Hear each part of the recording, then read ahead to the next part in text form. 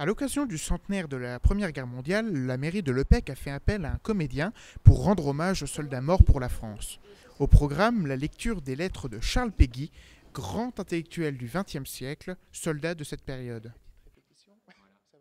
Et donc il est mort dans des circonstances euh, particulières, je dirais. C'était un homme de son temps, c'était un officier. Donc euh, à l'époque, euh, même si on était en plein champ, eh l'officier restait debout, sabre au clair. Et même si ces hommes lui criaient de se coucher, lui a refusé de se coucher et donc il est mort rapidement, hein. une balle dans le front. Et voilà comment il a été tué. Mais ce qui nous intéresse aujourd'hui dans la lecture, c'est ses derniers écrits. Qu'est-ce qu'il a écrit en fait à sa femme, à ses enfants, à sa mère à quelques amis avant de mourir?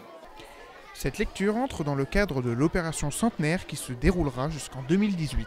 Ce centenaire, c'est bien entendu un moment très fort où nous rendons hommage à tous les combattants de la Grande Guerre et aussi à ceux restés à l'arrière du front.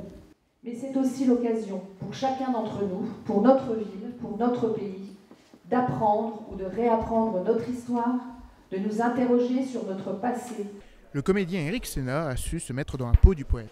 Dans un groupe d'hommes debout, un ouvrier, un colosse, ce gosse de la naïveté des Prussiens qui escomptaient le sabotage de la mobilisation. Notre patrie, c'est notre pain, dit-il. Et ce pain, ce pain-là, nous le défendrons. Les habitants ont par ailleurs fourni des objets personnels pour réaliser une exposition jusqu'en décembre. Très, très émouvant, très intéressant et moi qui suis euh, très sensible à, à, cette euh, guerre, c'est, mon grand-père a été colonel, ben, donc euh, je suis très touché et très, très sensibilisé par cette période. Le PEC a d'ailleurs été sévèrement touché par cette guerre puisque 13 habitants mobilisés sont tombés sous les balles allemandes.